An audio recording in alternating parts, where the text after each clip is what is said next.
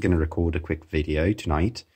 Um, and this is about this oscilloscope, which is a Philips PM3231 from 1971, which I got for 20 quid as broken, as it was not turning on.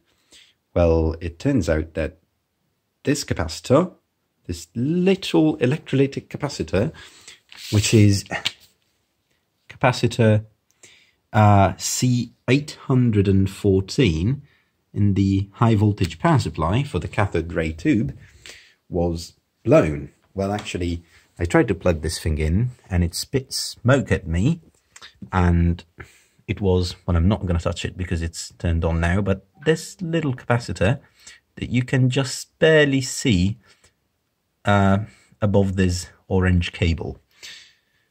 And I replaced that, and as you can see, now got a nice 1 kilohertz square wave, uh, courtesy of my Arduino Uno, and this thing is working, and it's a dual channel, 15 megahertz oscilloscope, which is really, really cool. I mean, it's huge, um, but it's a great tool, and I'm totally looking forward to using that in future experiments.